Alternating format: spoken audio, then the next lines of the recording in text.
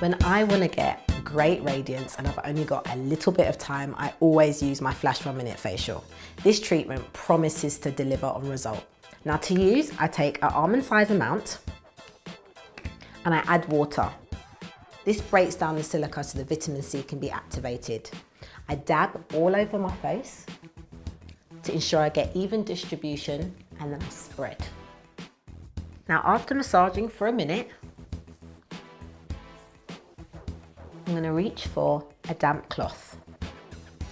Now I'm going to use this to remove all the flash rinse and you want to make sure you get everything off.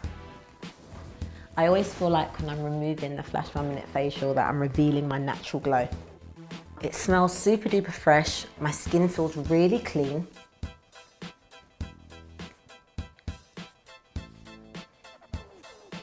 and I feel really awake after using this facial.